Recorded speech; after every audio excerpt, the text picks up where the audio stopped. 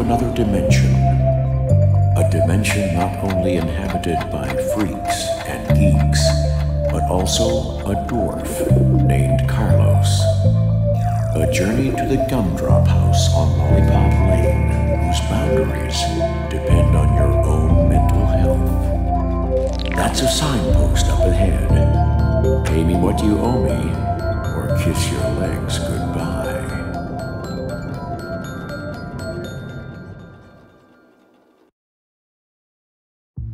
Life always has a little bit of everything for every one of us. Some nice surprises, tragic losses, new allies, betrayals. We all wish we could go back and change some of the mistakes we've made in our lives. But what happens when the man who's been given that opportunity is a sociopathic kleptomaniac, good for nothing moron? Dude, honestly, he never comes out of his room. I haven't seen him for like six months. I don't even remember what his face looks like. Huh. He doesn't even come out to go to the bathroom? No, I'd imagine that's what all the buckets are for. Ah, I bet he's dead. Nah, he uses growls to communicate. Growls? Randal, you're not talking about our wedding present, are you? Relax, honey. We're talking about his roommate. Yeah, plus it looks like my present won't be able to growl anyway. Science is still pretty far from being able to create a rapping pig. I'll have to think of something else, Matt. Don't worry, dude. It's the thought that counts. Guys, I don't want any scenes at my wedding. Is that asking too much? Scenes? What do you mean by scenes? You know exactly what I mean. We've been friends for a long time now, and I know what your idea of an unforgettable experience is.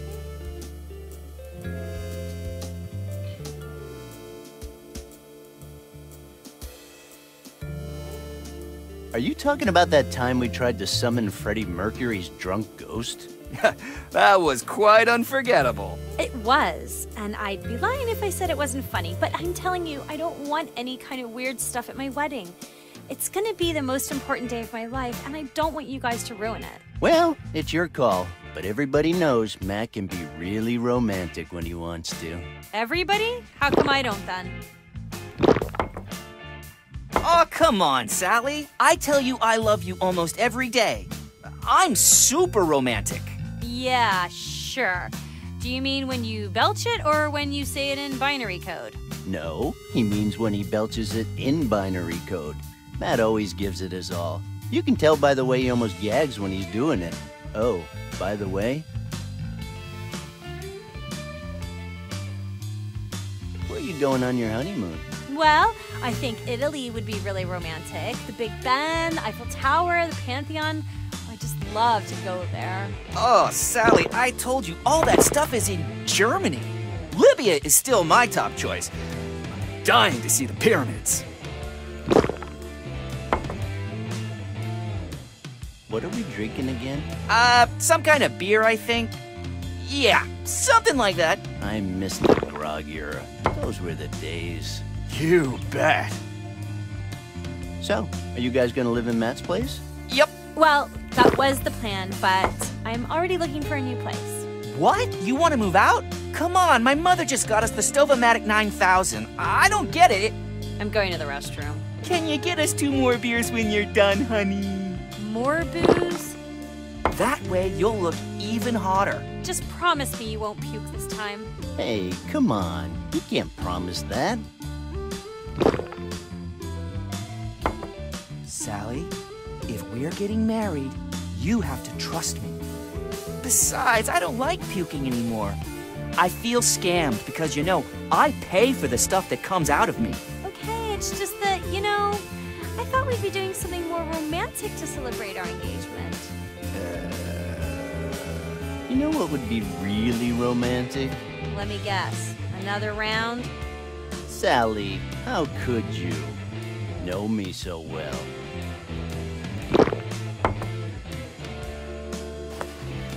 Dude, check this out. It's the engagement ring I got for Sally. What do you think? Sure looks expensive. Well, it's your money.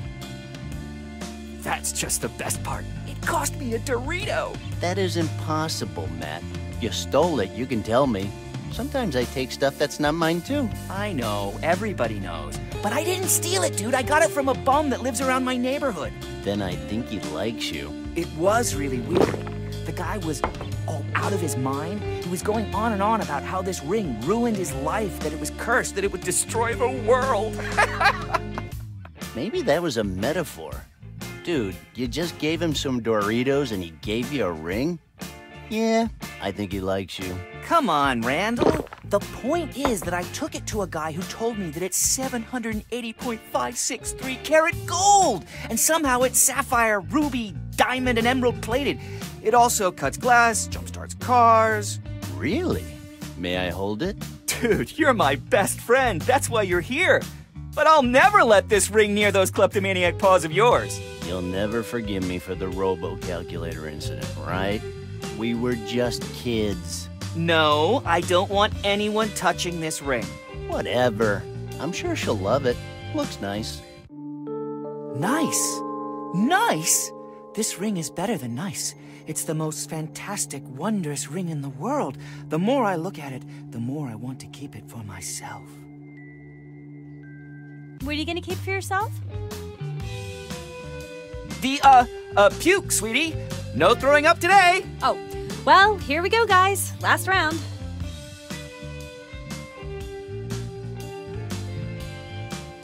Garbage everywhere as far as the eye can see. And it's not a problem that is literally starting to stink. I'm afraid something will attack me if I go near his door. I really think he's dead. No, dude, I told you. He uses growls to communicate. Guys, we're supposed to be celebrating our engagement. Why are we talking about Randal's roommate again? Shh, don't worry about it, honey. That freak is dead. W- where are you getting married? I really love St. Gilbert's Catholic Church, but Matt heard there's a three headed monkey buried in the catacombs. Now it gives me the creeps. Really? I can't think about anything else. you remind me of a couple of alcoholic hamsters I had when we were in school. They had a very long life. Remember, Matt? I just hope we don't end up like those poor rodents. Dude, don't make me feel bad about that. I don't even know how they got in the oven. I guess they were dazed and confused from all the stress and alcohol.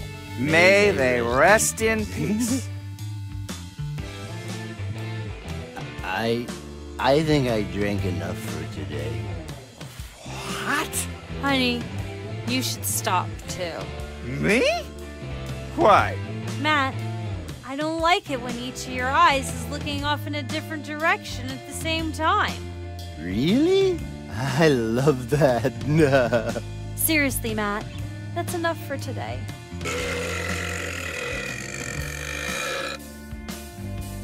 I'm okay. He's okay.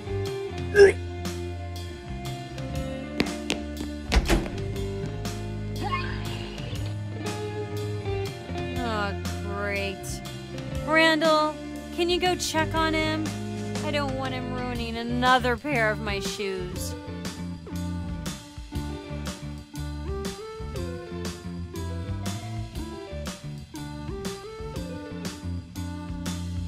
Sure. The stale, pukey air in here is starting to give me a headache. I could use some fresh, pukey air. I just hope he slows down on the alcohol after the wedding. Oh, I'm sure after a month or two of marriage bliss, he'll move on to something stronger. I don't know, heroin, meth.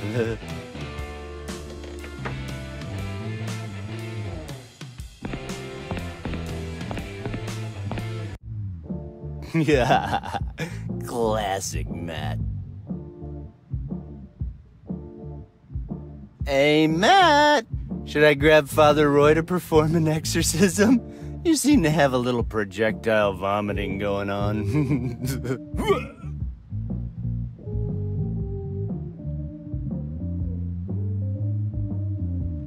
well, at least you don't throw up lying on your back anymore. Well, I'm a grown up now.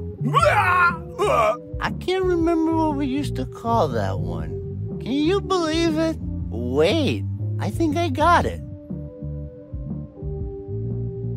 Bacon Golem. You're not even close. Ah, dude, damn it. What was it? Vesuvius, Matt. Vesuvius Matt stops people in their tracks. That's it.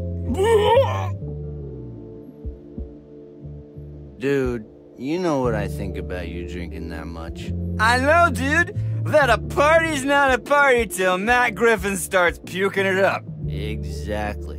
But I'm kind of worried about you, you know? You don't even chew your food anymore.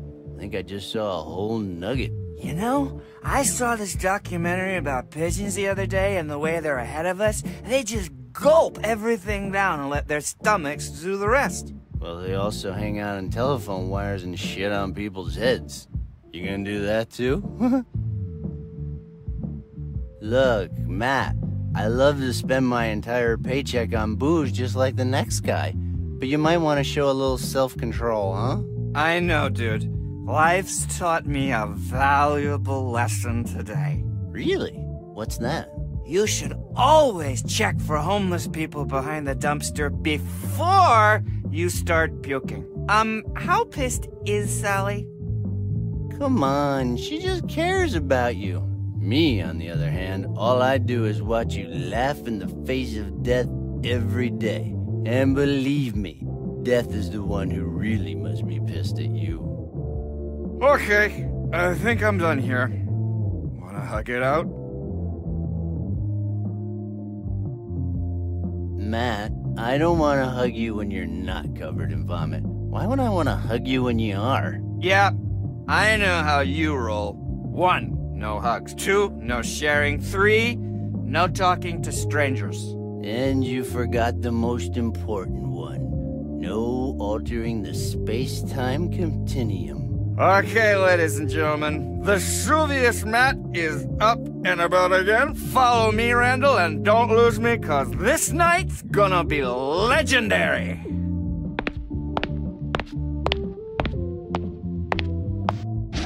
Um, Matt, you dropped.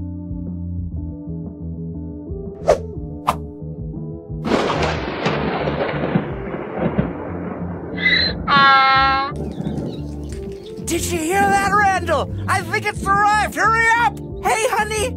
I'm feeling much better now. Excellent. Now you can explain to me what the hell this woman is doing here with that animal at my wedding shower. Yeah, um, now listen, sweetie, um. Matt, please, not now. Ladies and gentlemen, I am honored to announce that the donkey has arrived. Let the magic commence.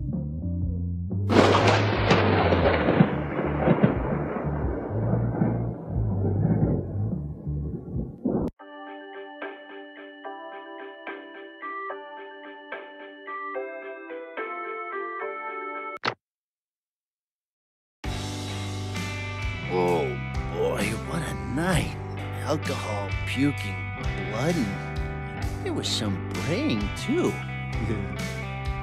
well, I better get moving. I think I'm supposed to be working today.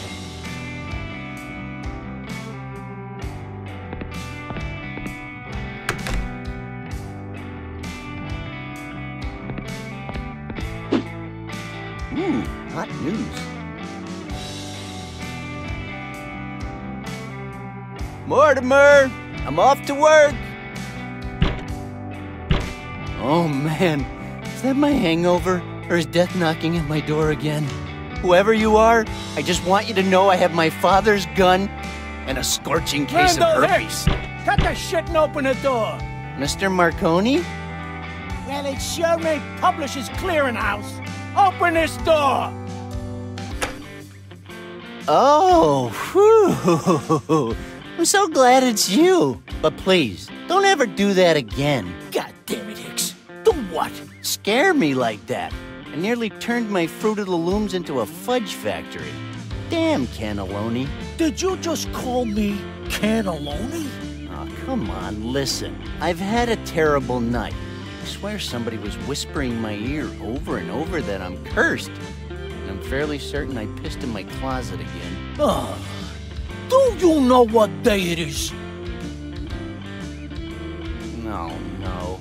Are you gonna try and get that ferret out of the plumbing? Because I don't know if I can stomach staring at your hairy ass crack all day. Very funny. Your rent, Hicks. As usual, you're late. I don't see my money. Neither do I, Mr. Marconi. But come on, it's only a couple of days late. No big deal. You owe me three months. Oh. Well, there must have been some kind of problem with the paperwork. Damn bureaucracy. Let me talk to my financial advisor. I'll get back to you as soon as I can. Ah, Hicks, you need a financial advisor like I need ballerina shoes. That's lame. Well, what about the time I tried to pay you in gold coins? Those were bottle caps painted gold. Took me three weeks to get the paint off my hands. Mr. Marconi, I've been meaning to talk to you, but I don't think you're gonna like what I'm about to say. I'm sure I won't. I have the feeling we're growing apart. What are you talking about?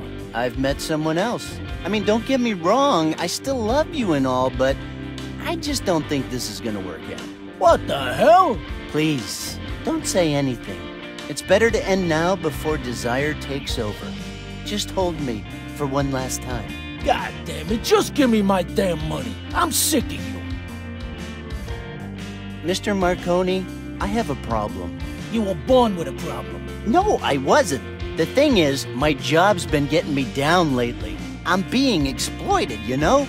There are always hundreds of orders that have to be delivered on their due date and in perfect condition. And do you know what the worst part is? I don't care. The customers. They're only worried about themselves. They never thank me or say, have a nice day. They treat me like dirt, you know?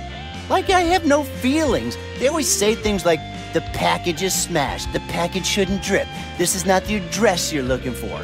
Is it too much to ask that they just sign for their damn delivery and keep their smashed packages? Randal, Yes, Mr. Marconi? you work for the town's worst courier service, and you spend more time trying to think of ways to get out of work than you do actually working. Whoa, whoa, whoa, Mr. Marconi, that's not entirely true. It is entirely true. Randal, you're like a son to me. You know what that means, don't you?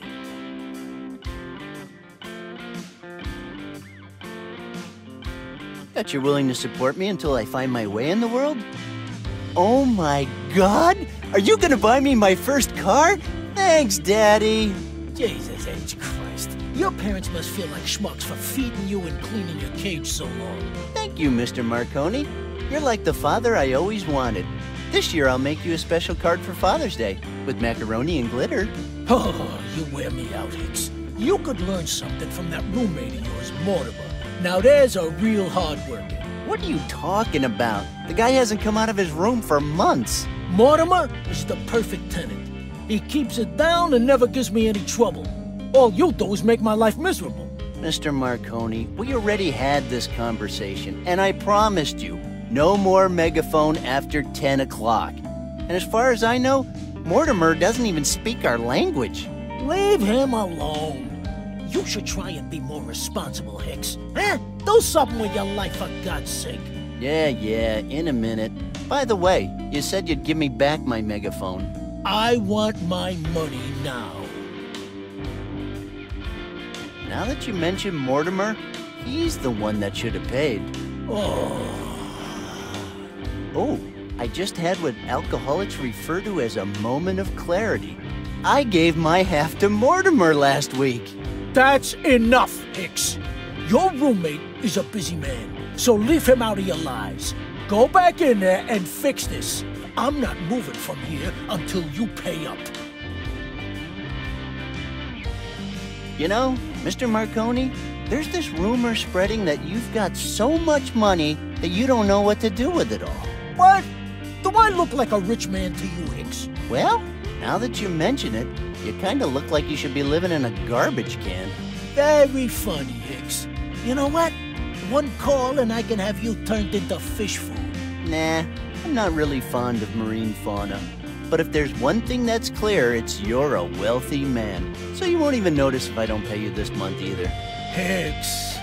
All right, Mr. Marconi. I'll see what I can do.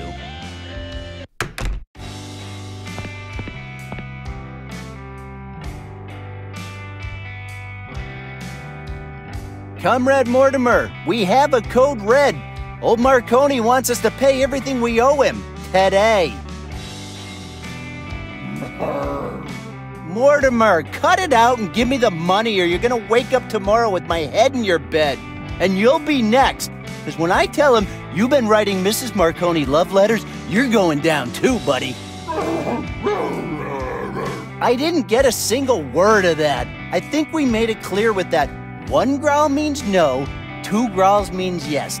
You just made me want to break down the door and stomp on your head.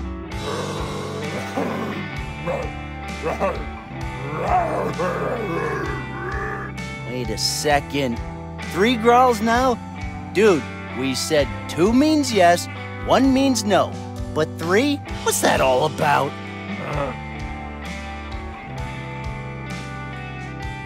Mortimer, I'll never understand this language of yours. Can we please go back to Klingon?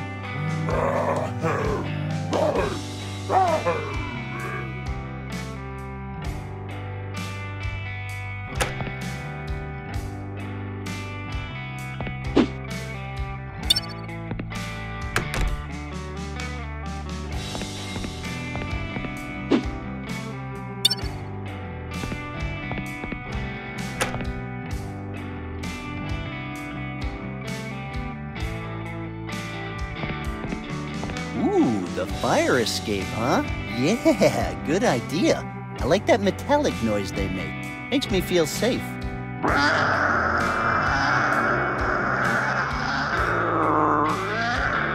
What the hell was that? Was that the fire escape? Maybe we should think this through.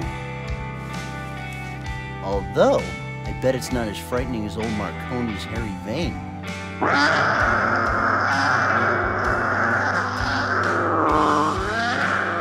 Maybe it is. Judging by that noise, I'd say there's some scary ass creature in that alley.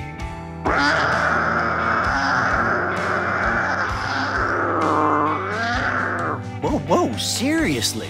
I'm relatively too young to die. Whew. Okay, I'm gonna die here. But at least I will look death in the eye and say, I'm not afraid of you.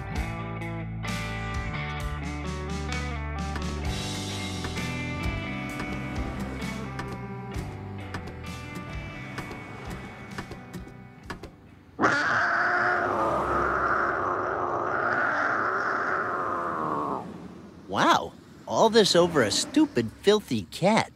Well, that's embarrassing. Luckily, no one saw me, except for the cat and Mrs. Grozer, of course. I can't reach it. I need to release the ladder, but I can't.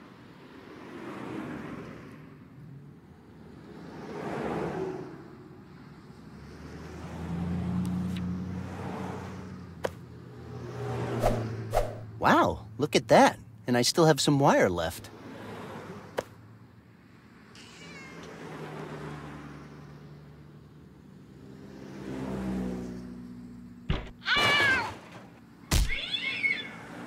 Phew, perfect. I got rid of that stinking cat and now the coast is clear. Things are looking up. You're cursed. Huh? You're cursed. Um, what now? Cursed. Cursed. So that wasn't my imagination after all. You're cursed. Aw, man, was that you in my ear all night? I had a hell of a night because of you. Worst night since I ate that three year old jar of mayonnaise. Wait till I get down there. You're cursed. That does it. No one curses Randal. Bye bye, Mrs. Grozer. Say hi to Mr. Grozer.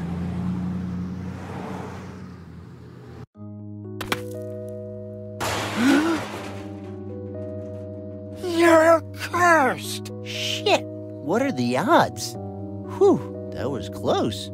feel like I'm gonna puke my heart out. Whew, This must be what freedom tastes like. You're cursed! Easy, easy. I haven't forgotten about you. Let me just check and make sure everything is where it should be, then I'll decide whether to face you or get the hell out of here. Just after I throw a rock at your face or something.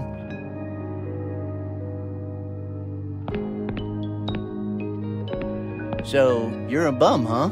And who are you? What? You don't even know I'm the victim of your nighttime screaming? I think you're mistaken. The cat went that way.